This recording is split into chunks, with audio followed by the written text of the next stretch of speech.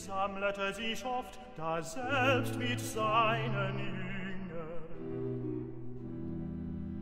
Da nun Judas zu sich hatte genommen die Schar und der hohen Priester und Pharisäer Diener, kommt er dahin mit Fackeln, Lappen und mit Waffen, Als nun Jesus wusste alles, was ihm begegnen sollte, ging er hinaus und sprach zu ihnen. Wen suchet ihr? Sie antworteten ihm, Jesu, Jesu, Jesu von Nazareth, Jesu von Nazareth, Jesu von Nazareth. Jesus spricht zu ihnen,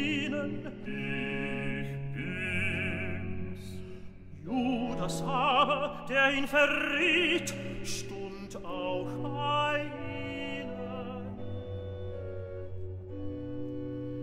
Als nun Jesus zu ihnen sprach, ich bin's, wichen sie zurücke und fielen zu Boden.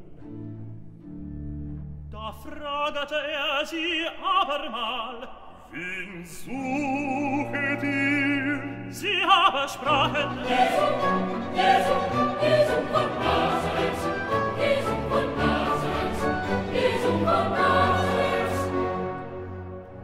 Jesus antwortete, Ich hab's euch gesagt, dass ich sei, suchet ihr denn mich, so lasset die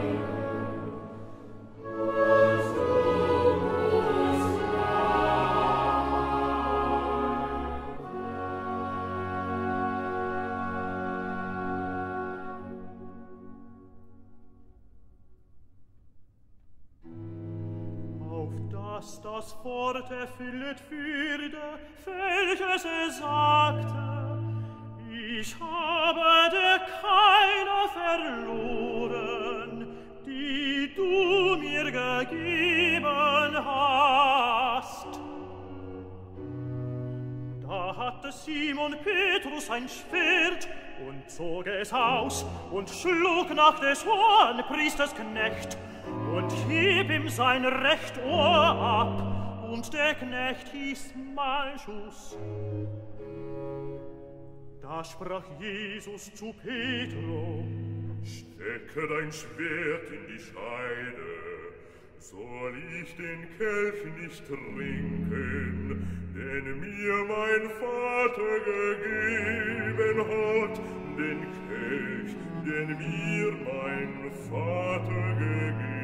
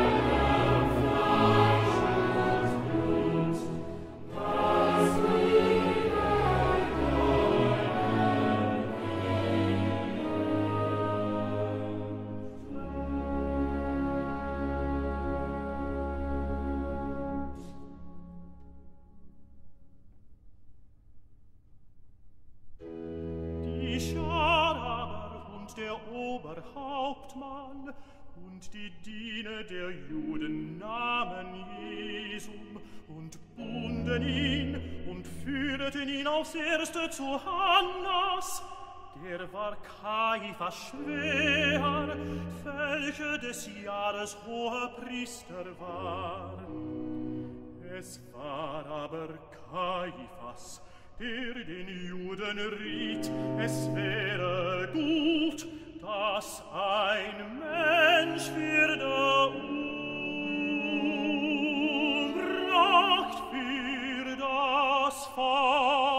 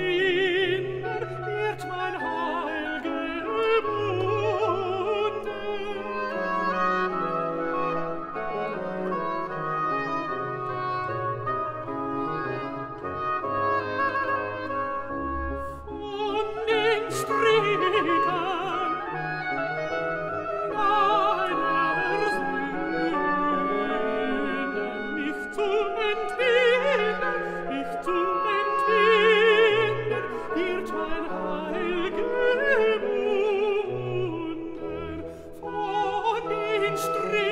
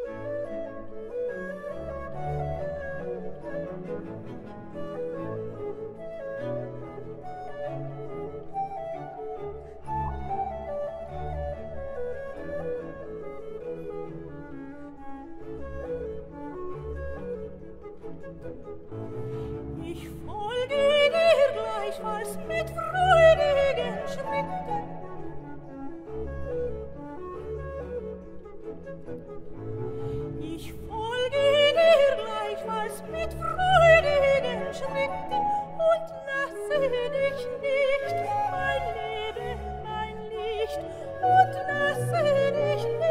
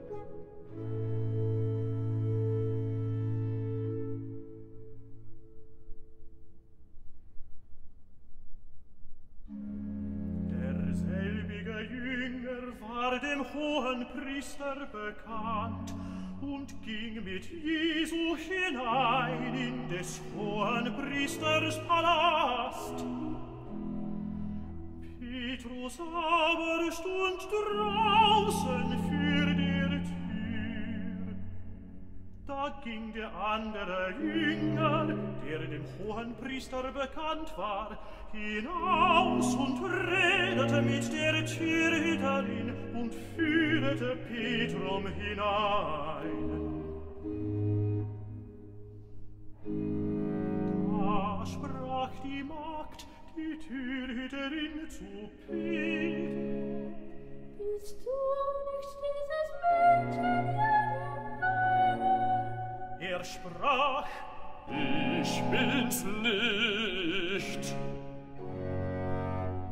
Es stunden aber die Knechte und Diener Und hatten ein Kohlfeuer gemacht Denn es war kalt Und wärmeten sich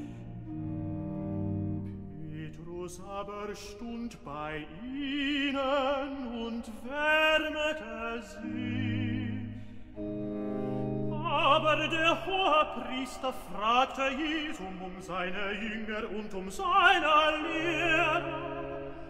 Jesus antwortete ihm, Ich habe frei öffentlich geredet für die Welt, Ich habe alle Zeit gelehrt in der Schule und in dem Tempel, da alle Juden zusammenkommen und habe nichts in Verborgenen geredet. Was fragest du mich darum? Frage die darum, die gehöret haben, was ich zu ihnen geredet habe. selbigen wissen, was ich gesagt habe. Als er aber solches redete, gab der Diener einer, die dabei stunden, Jesu einen Backenstreich und sprach, Solltest du dem hohen Priester also antworten?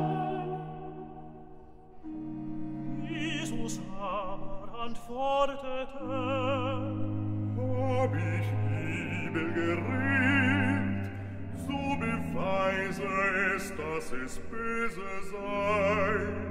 Hab ich aber recht gerät, was schlägest du mich?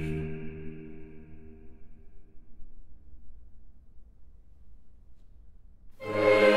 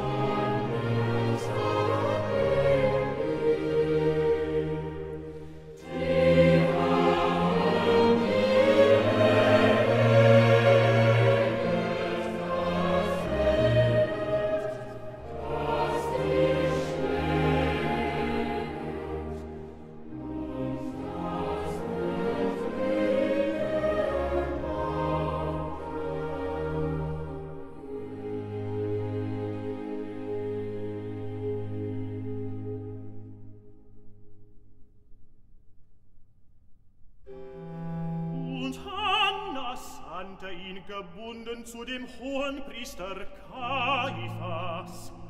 Simon Petrus stund und wärmete sich. Da sprachen sie zu ihm.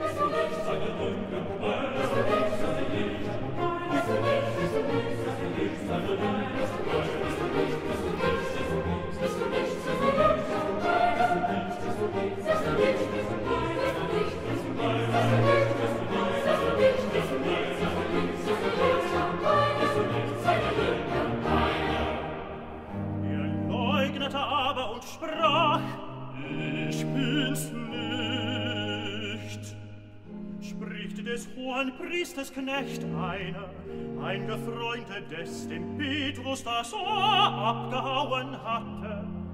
Seid ich nicht im Garten bei ihm, da verleugnete Petrus abermal, und also bald krähte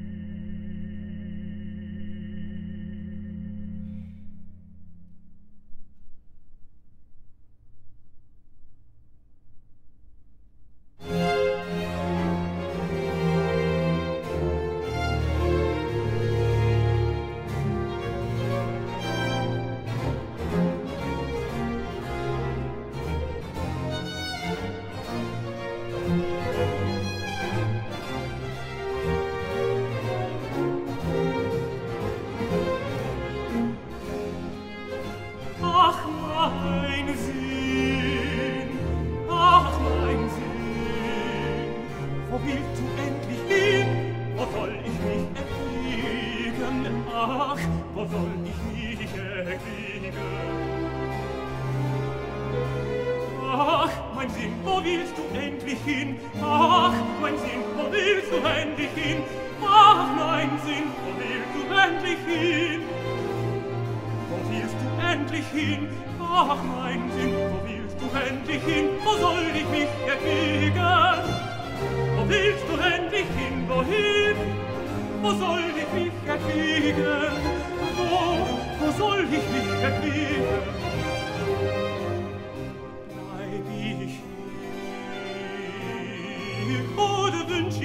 ihr Berg und Hügel auf den Rücken. Bleib ich hier, bleib ich hier, oder wünsch ich mir Berg und Hügel auf den Rücken.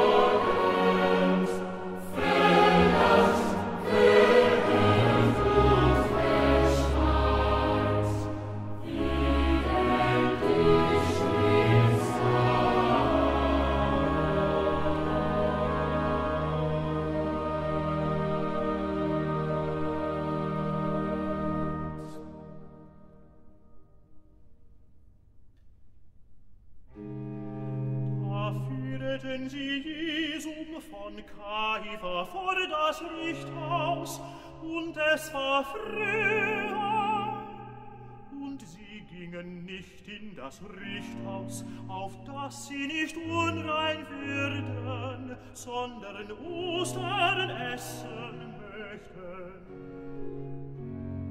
Da ging Pilatus zu ihnen heraus und sprach, Was bringet ihr für Klage wider diesen Menschen? Sie antworteten und sprachen zu ihm, Wer diesen nicht einmal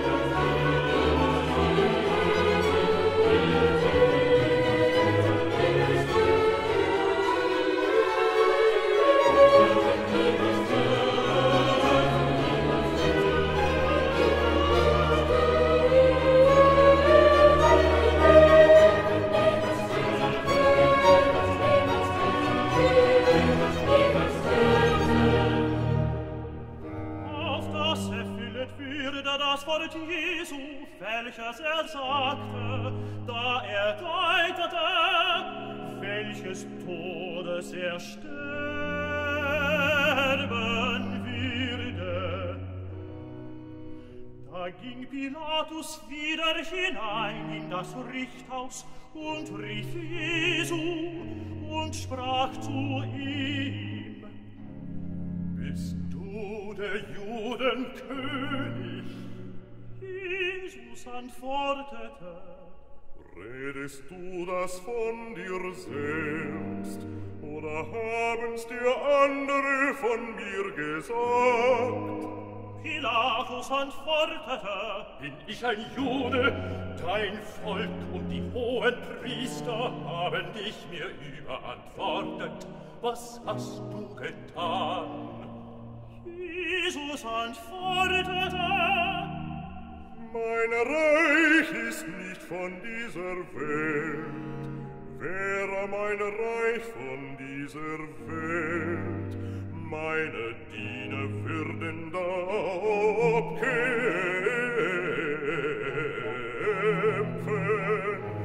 dass ich den Juden nicht überantwortet würde. Aber nun ist mein Reich nicht von dannen,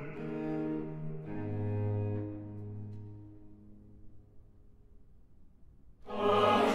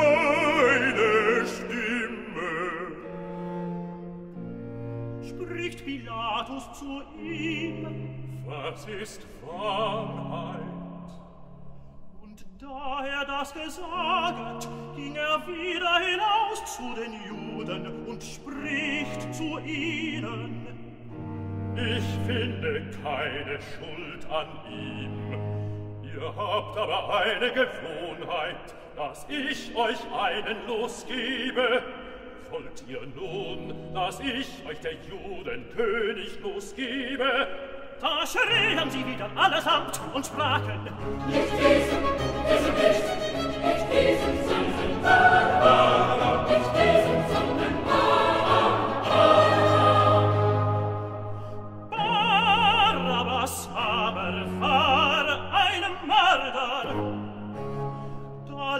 Pilatus Jesum und gab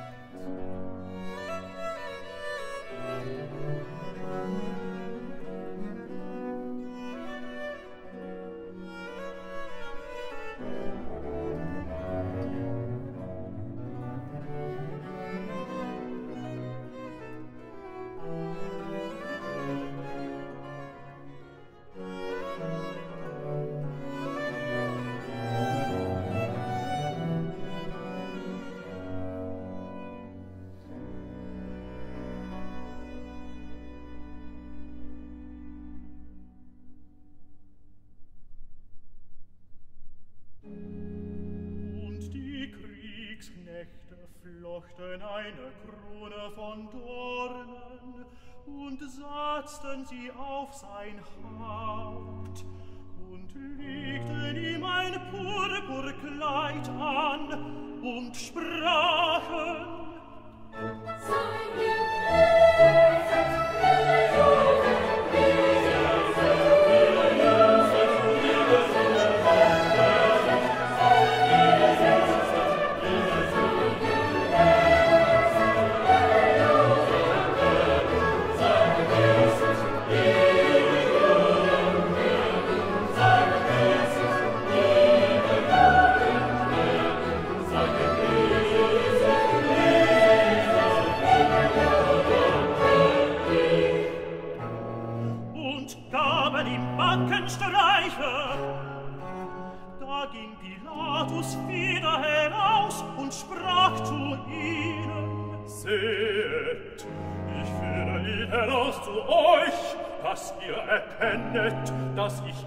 keine Schuld an ihm finde. Also ging Jesus heraus und trug eine Dornenkrone und Purpurkleid. Und er sprach zu ihnen, Seht, welch ein Mensch! und die Diener sahen, schrien sie und sprachen,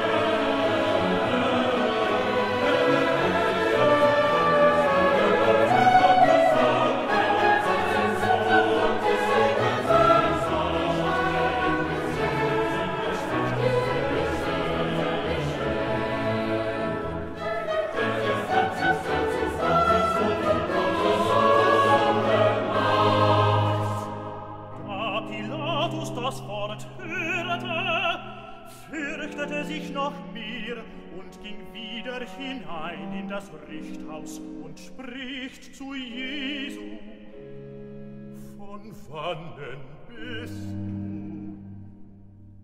Aber Jesus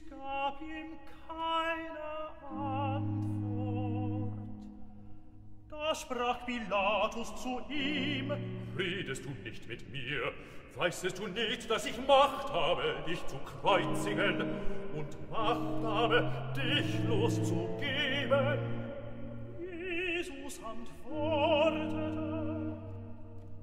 hättest keine Macht über mich, wenn sie dir nicht wäre von oben herabgegeben.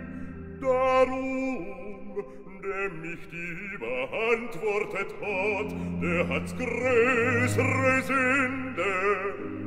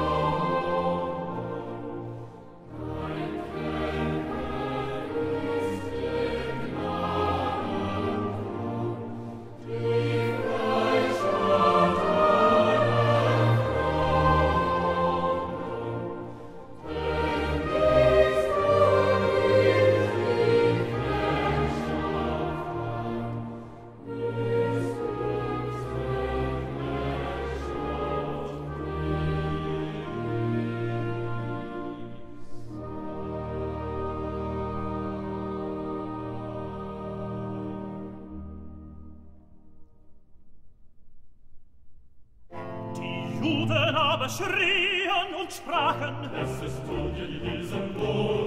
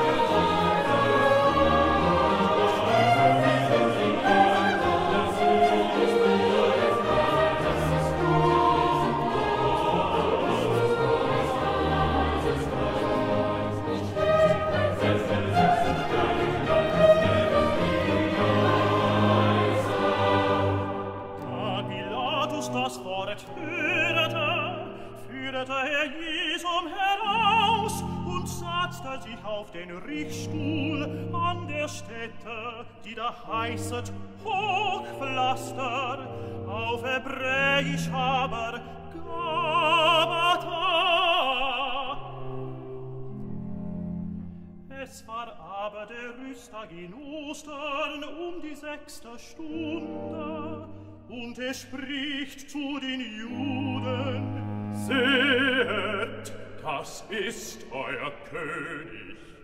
Sie schrien aber, König, König, König,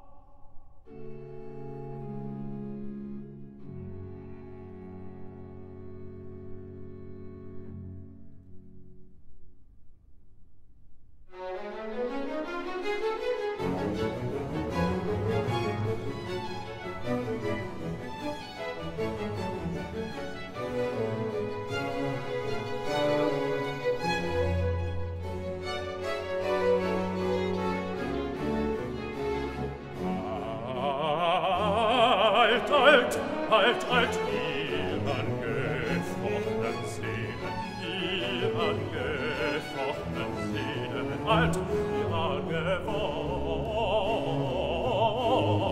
Sehnen, halt, halt, halt, halt, ihren gefochtenen Sehnen, ihren gefochtenen Sehnen, geht aus euren Mann.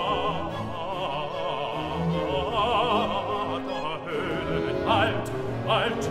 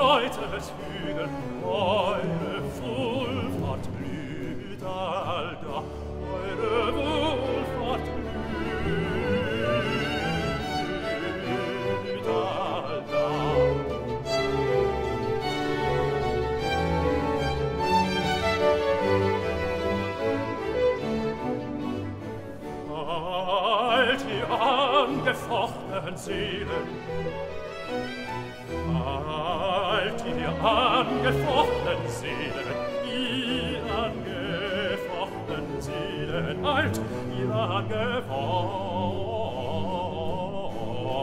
Seelen, halt, halt,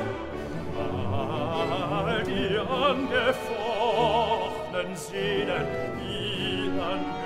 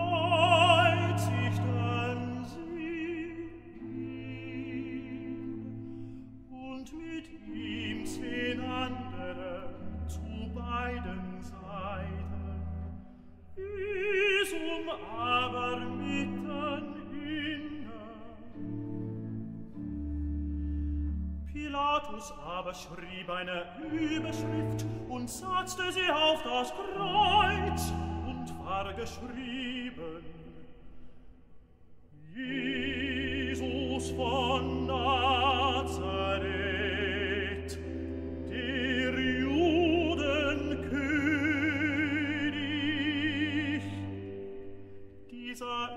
Schrift lasen viel Juden, denn die Stätte war nah bei der Stadt, da Jesus gekreuziget ist. Und es war geschrieben auf hebräischer, griechischer und lateinischer Sprache, Da sprachen die hohen Priester der Juden zu Pilato. Schweige nicht